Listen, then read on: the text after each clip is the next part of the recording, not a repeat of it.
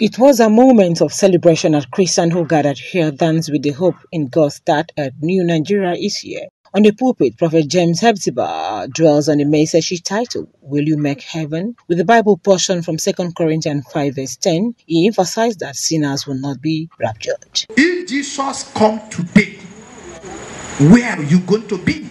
Anytime Jesus come, you will meet him.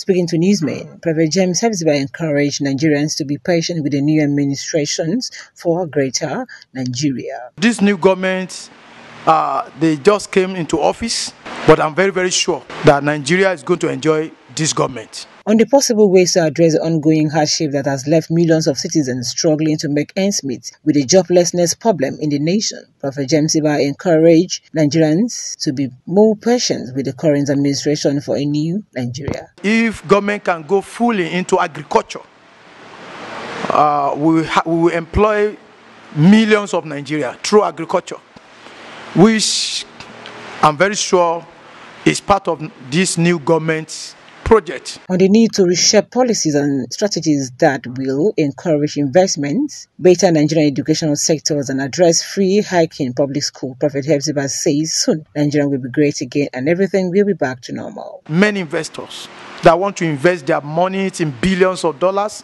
into Nigeria, but because of lack of, uh, because of insurgency and insecurity, many of them cannot come but we have seen signs that they are coming now by God's grace. Nobong Sunday, ITV News.